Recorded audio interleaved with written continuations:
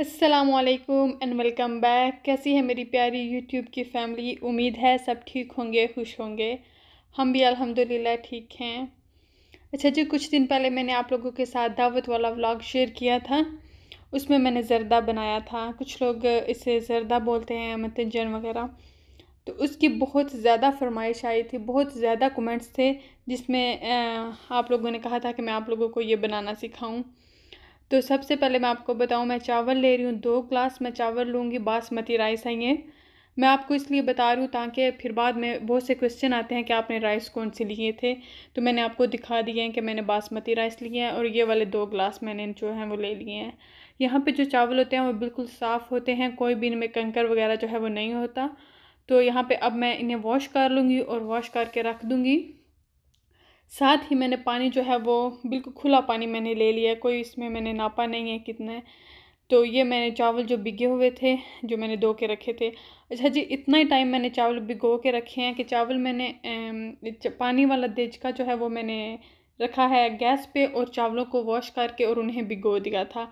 जैसे ही चाव पानी में बॉईल आया तो मैंने चावल जो है वो उसमें ऐड कर दिए थे। इतना ही टाइम मैंने भिगोए थे, ज़्यादा टाइम मैंने इन्हें नहीं भिगोया।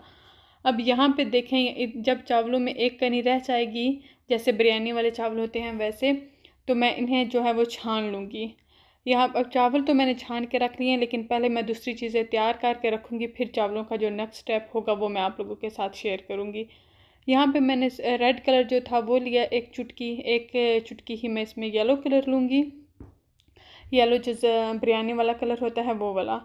अच्छा जी, मेरी जो सिस्टर है, मैंने उससे ये रेसिपी जो है वो ली थी कि मैं मैं पहले खुद ट्राई मैंने किया था, लेकिन मुझसे नहीं था बनता। फिर जब वो हमारे घर आई तो मैंने उसे बोला कि वो बनाए तो मैं ना वैसे बनाया करूँगी।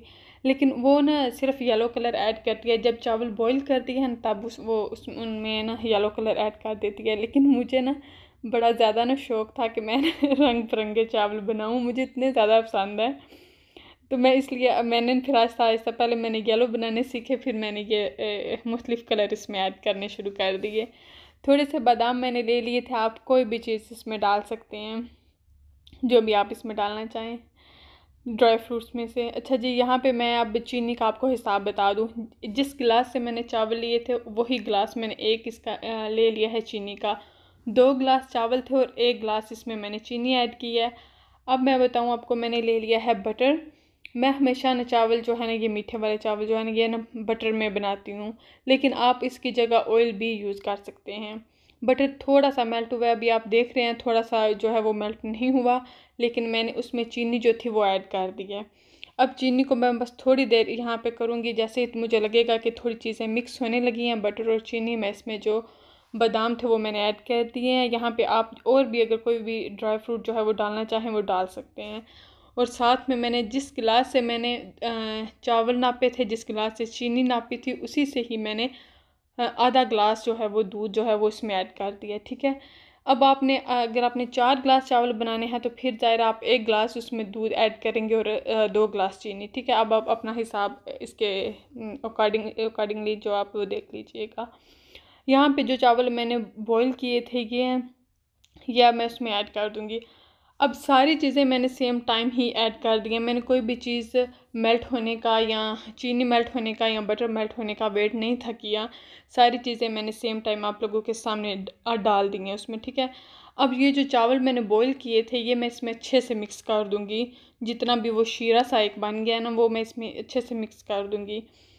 अब मिक्स करने के बाद इसमें मैंने जो कलर आप लोगों के सामने पहले से इसीलिए तैयार करके रखे थे ताकि जब मैं इन्हें मिक्स करूँगी तो उसी टाइम मैं जो कलर हैं वो इसमें ऐड करती जाऊँगी। अब मैं इसमें ग्रीन कलर ऐड करूँगी, फिर रेड और येलो जो जितने कलर आप लोगों ने ऐड करने हैं वो कर लें। अच्छा कुछ लोगों को ना कलर बिल्कुल हल्के हल्के पसंद होते हैं इसमें, लेकिन मुझे ना, मुझे अच्छा लगता है कि सारे मुख्तलिफ़ कलर जो है ना रेड येलो और ग्रीन कलर जो है ना उस सारे मिक्स हुए हुए हों।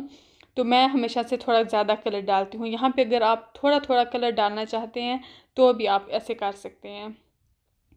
अब मैं इसे दम दूँगी। फॉइल पेपर मैंने लगा लिया है। आप कोई भी कपड़ा जिसमें हम रोटी वगैरह आपको पता रखते हैं, वो वो भी आप यूज़ कर सकते हैं और आप इसे दम दे दें। दम मैं दे, बिल्कुल स्लो आँच है यहाँ पे। तो बिल्कुल स्लो मैंने कर दी थी और पंद्रह मिनट के लिए मैंने इसे दम दिया था, ठीक है? अब पंद्रह मिनट के बाद मैंने दम जो है वो आप लोगों के सामने ही मैं इसे ओपन करूँगी।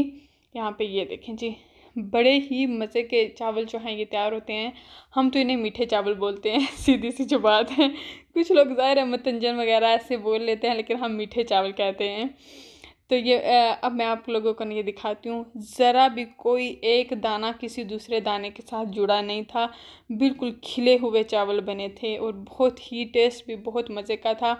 और जो चीनी है वो भी बिल्कुल मुनासिब मकदार में थी। आपको पता बहुत ज़्यादा चीनी हो जाए, बहुत ज़्यादा मीठे हो जाए, फिर भी मज़ा नहीं आता। इसलिए जो मैंने आपको हिसाब बताया, अगर आप इसी से बनाएँगे तो आपके चावल बहुत ही मज़े के बनेंगे। पहली बार ही आपके, मैं गारंटी देती हूँ, अच्छे बनेंगे। तो यहाँ अगर पहली बार ना भी बने ना तो दूसरी बार ज़रूर ट्राई करना है। वैसे पहली बार ही अच्छे बन जाएँगे अगर आप बिल्कुल आ, मेरी जो रेसिपी है ना ये फॉलो करेंगे। अच्छा जी यहाँ पे मैंने आपको प्लेट में निकाल के भी दिखा दिए हैं कि ये कितने ही मज़े के बने थे। अब आपने ये रेसिपी ज़रूर ट्राई करनी है और फिर मुझे कमेंट करके बताना है कि आपको कैसी लगी। अपना बहुत सा ख्याल रखिएगा। मैं आपसे मिलती हूँ एक नए व्लॉग में। अल्लाह हाफिज़।